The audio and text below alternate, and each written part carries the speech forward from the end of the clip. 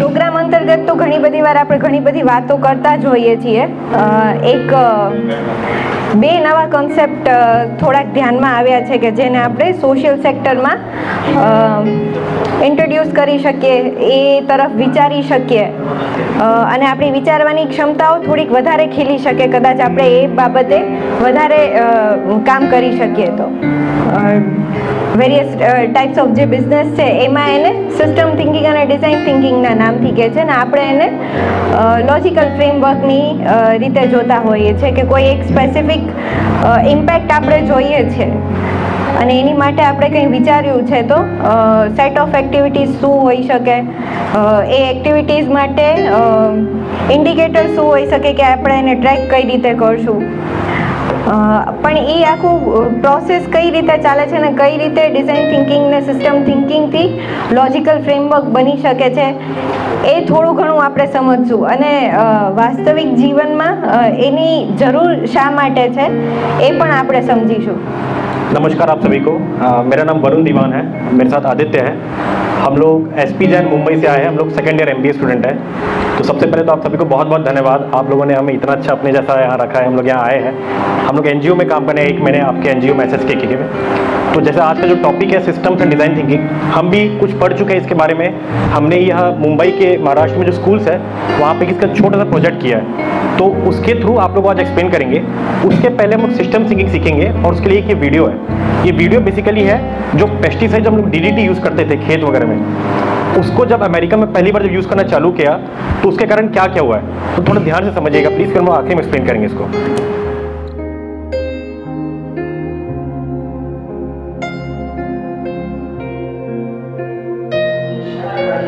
यहाँ तक समझ में आया, सबको थोड़ा ये मलेरिया का जो आउटब्रेक हुआ है, उसके लिए डब्ल्यूएचओ को इन्होंने पूछा है। आगे।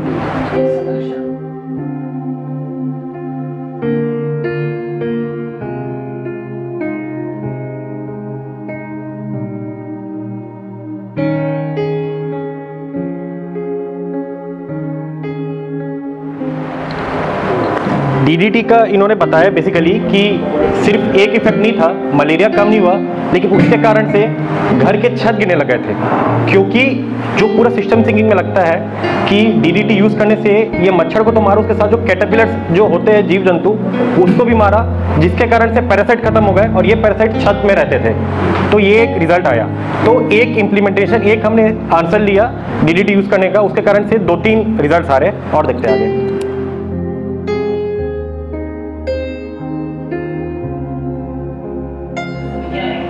ये उन्होंने बताया क्लियरली कि डीडीटी से वॉस्प खत्म हुए। ये वॉस्प खत्म हुए तो कैटापिलर जो छत में रहते थे, उन लोग बढ़ने लगे और ये कैटापिलर जो खपरा रहता है, उसको कंज्यूम करने लगे। उससे छत वीक हो गया, छत गिरने लगा।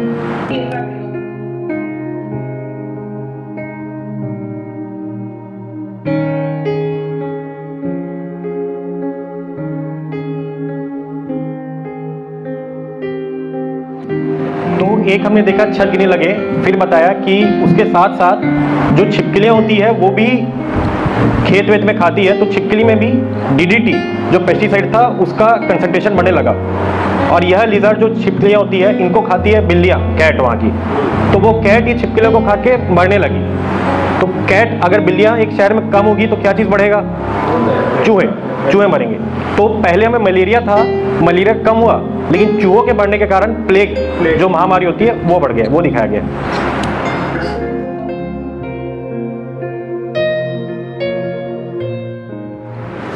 तो फिर फाइनली उन्होंने बिल्लियाँ को एयर ड्रॉप किया उन्होंने ताकि वहाँ पे जो बिल्लियाँ की कम होगी की संख्या वो बढ़ी।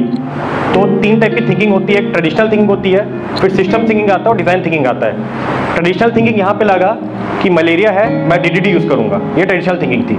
सिस्टम थिंकिंग ये हुई, जब हमें पता चला कि डीडीके के कारण बिल्लियाँ बढ़ रही है, छिपकलियाँ बढ़ रही है और घरों के छत गिरे हैं। ये सिस्टम थिंकिंग में आता है। और उसका सोल्यूशन दो चीज़ें दिखती है। लेकिन सिस्टम थिंकिंग क्या है? पूरे सिस्टम को हमको देखना है। हर चीज़ एक दूसरे से कनेक्टेड है। तो जैसे कि हमने देखा डीडीटी यूज़ करने से कैसे वो छिपकली में गया, कैसे वो बिल्ली में गया, कैसे?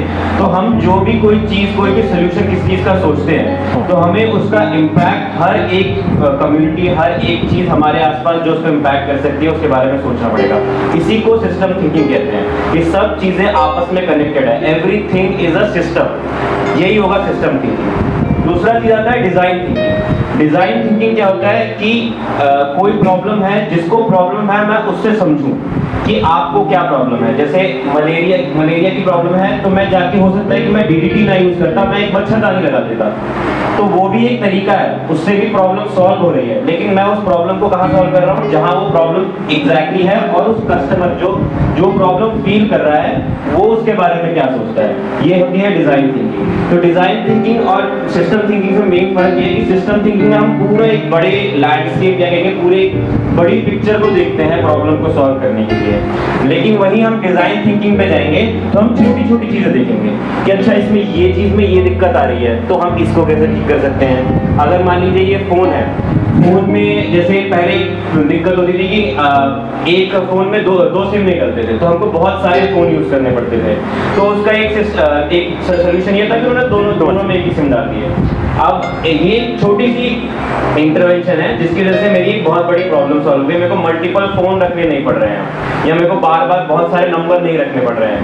तो ये तरीका हो गया डिज़ाइन थिंकिंग का। तो इसमें डिज़ाइन थिंकिंग में मेन ये है कि हमको कस्टमर से जाके जिसको प्रॉब्लम है, वो रूट पे जाके बात करनी है उससे और उससे पूछना है उससे बार बार ये पूछना है कि इस प्रॉब्लम को हम कैसे कैसे उससे भी पूछना है अपना भी दिमाग लगाना है ये प्रॉब्लम को हम कैसे हटा सकते हैं या एलिमिनेट कर सकते हैं ક્યાંય પ્રશ્ન હોય તો વિચારજો કારણ કે એક આ જે ડિઝાઇન થિંકિંગ મોડેલ છે એ કદાચ થોડું અનુભવ પર પડશે પણ આપણે એક કદાચ ટ્રાય કરીએ કે પ્રોટોટાઇપની એક એક્સરસાઇઝ કરી શકીશું બીજ પ્રોજેક્ટમાંથી છે અહીંયા લેમ્પ પ્રોજેક્ટમાંથી છે બીસીઆઈ પ્રોજેક્ટમાંથી છે ક્યાંય લિંક થયું કંઈ आप जो काम करते हैं जैसा पहले इसमें जो एम्पेथाइज का लिखा हुआ है कि हम जब किसी बच्चे से नए प्रोजेक्ट में बात करते हैं उनके पेरेंट्स से बात करते हैं कि क्या प्रॉब्लम है आपके बच्चे को क्या चाहिए तो हम लोग को हम लोग को बेसिकली हम लोग को अच्छे से मुझे ऐसा बोला नहीं चाहिए बट हम लोग को अच्छे से क्वेश्चन पूछने नहीं आता है मैं अपनी बात कर रहा हूँ कि मैं किसी पूछूंगा तुम्हें क्या करना है क्या चाहिए तुम्हें लेकिन जो पूरा डिज़ाइन थिंग में एम्पेथाइज पहला वाला एम्पेथाइज मतलब आप अपने आप को उनकी जगह में रख के देखिए। तो सुनना, किसी की बात को सुनना बहुत अच्छी चीज़ है कि जब अपना सॉल्यूशन प्रॉब्लम बता रहा है कोई पेरेंट अपने बच्चे के बारे में तो हम लोग को कैसे उसको रिसीव करना है? क्या चीज़ है ड्रॉप करना है? क्या वो बोल रहे हैं? कैसे ध्यान देना है? तो ये सबसे बड़ा आर्ट आता है डिज़ाइन थिंकिंग में कि आप क्वेश्चन कैसा पूछ रहे हैं, उसको कैसे दिख रहा है? ताकि आपको मेन प्रॉब्लम मेन समस्या क्या है पेरेंट्स को पता चले। અનુભૂતિ એટલે કોઈ માણસ દુઃખી છે એનું દુઃખ જોઈ અને હું અનુભવ કરું છું એને અનુભૂતિ તરીકે ઓળખી શકીએ આપણે અને સહાનુભૂતિ એટલે કોઈ વ્યક્તિ સામેની વ્યક્તિ દુઃખી છે અને એના દુઃખને હળવું કરવામાં હું મદદરૂપ થઈ શકું એને સહાનુભૂતિ તરીકે ઓળખી શકું फिर आगे कोई भी अगर सवाल हो तो ज़रूर पूछेगा सेकेंड स्टेप हमारा आता है डिज़ाइन थिंकिंग में डिफाइन जब हमको पता चल गया कि दिक्कत क्या है हमने बहुत सारे सवाल पूछ लिए तो अब हम प्रॉब्लम को डिफाइन करेंगे क्या प्रॉब्लम ये है कि वो बच्ची टिफिन नहीं लेके जा रही है क्या प्रॉब्लम ये है कि वो बच्ची न्यूट्रिशनल खाना नहीं खा रही है। क्या प्रॉब्लम ये है कि वो अपने दोस्तों के साथ बैठ के खाना नहीं खा पा रही है? बहुत अलग अलग तरीके से देखने की चीज़ें हैं इसको। तो आपको बैठ के उसको डिफाइन करना पड़ेगा कि मैं इस प्रॉब्लम को किस तरीके से देखता हूँ या इस प्रॉब्लम को किस तरीके से मैं सॉल्व करने की कोशिश कर सकता हूँ। आप उस तरीके से ही उस प्रॉब्लम को डिफाइन करेंगे। जैसे कि हो सकता है आप खाने को ना बदल के उस टिफ़िन में अपने क्लासरूम में वो जो जगह बैठते हैं उसको बदल दें।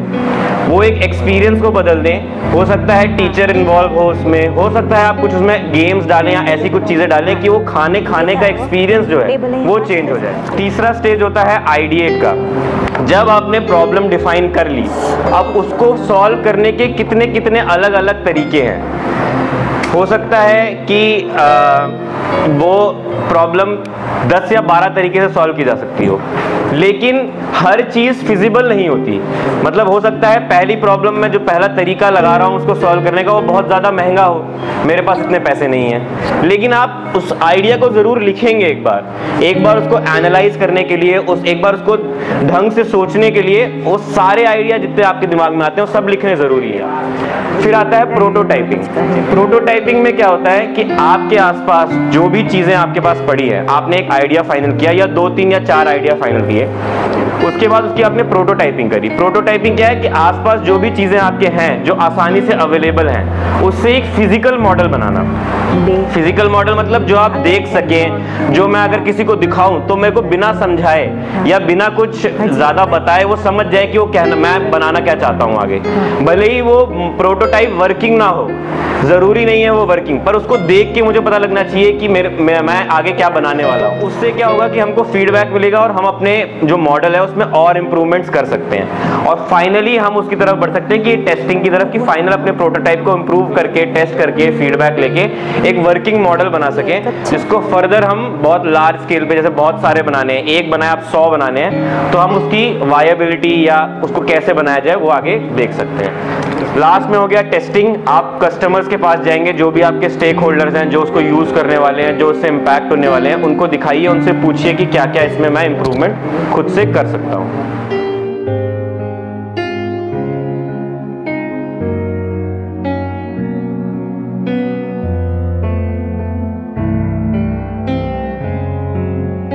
એ, અમ, ઘણી વાર લીડરશીપના રોલની સાથે જે વાત કરે છે ને એમાં ડર લાગે છે ઘણા ડર હોય. કે ભાઈ કામ સારું થશે, નહીં થાય.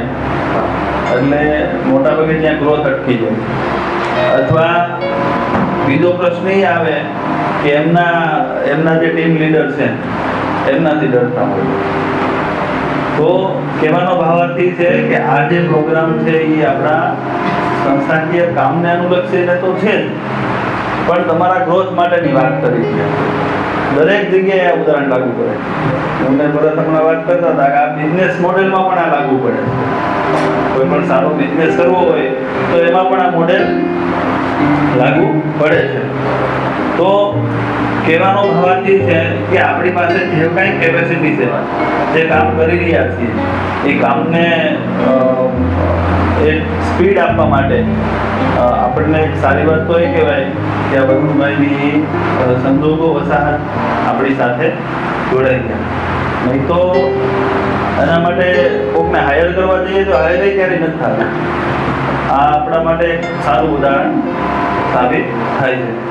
ધીરે ધીરે સમજતા છીએ. અહીંયા એક પાછી બીજી એક વાત છે આપણે જે માનો કે ડિઝાઇન થિંકિંગ ઉપર વાત કરી રહ્યા હતા એને લઈને કે ભાઈ માનો કે યુઝર છે એ યુઝર આપણો યુઝર કોણ છે એટલે એન્કરેજ માનો કે આપણી જો કોઈ કંપની છે આપણે કોઈ પ્રોડક્શન કરી રહ્યા છીએ તો આપણે એ રીતે પણ યુઝર કે કસ્ટમર્સની વાત કરતા હતા હમણાં માનો કે આદિત્યભાઈએ વાત કરી તો અહીંયા વપરાશકર્તા તમે કોઈ એક કિશોરને પકડો આ એક ઉદાહરણ છે સમજવા માટે બે બે ઉદાહરણો મૂક્યા છે તો એની જરૂરિયાત શું છે કે ખાવા માટે અ, સારો ખોરાક તો અંતરદ્રષ્ટિ શું છે આપણી કે અ, શારીરિક અને જ્ઞાનાત્મક સ્વાસ્થ્ય અને વિકાસ માટે અમુક પોષક તત્વો જરૂરી હોય કિશોર માટે બરાબર તો આટલી અ, સીધી સાદી વાત આપણને સમજમાં આવે એવી જ વાત છે કે ભાઈ કોઈ અ, અ, છોકરી છે નવમા ધોરણની કે એ નવી શાળામાં પ્રવેશ મેળવે છે તો એની જરૂરિયાત શું છે તો એ સેમ જ છે તંદુરસ્ત ખોરાક ખાતી વખતે સામાજિક રીતે સ્વીકૃતિ અનુભવે અહીંયા માનો કે માત્ર તંદુરસ્ત ખોરાકની વાત છે અહીંયા સામાજિક સ્વીકૃતિ સાથે એડ થાય છે એની નીડ છે શું નીડ બદલે છે અહીંયા તો જ્યારે માનો કે આપણી જેની સાથે આપણે કામ કરી કરી રહ્યા છીએ કે એની જ્યારે આપણને નીડની જો ખબર પડે તો એના ઉપર આપણે ઓટોમેટિકલી છે ને આપણી જે આંતરદૃષ્ટિ છે એ મેળવવાની જાય બરાબર છે? હવે અ, એનો અમલ કરવા માટેના સંદર્ભ છે. તો આ એક સોલ્યુશન વાળી વાત છે. એની યોજના વિકસાવવાનો સંદર્ભ છે.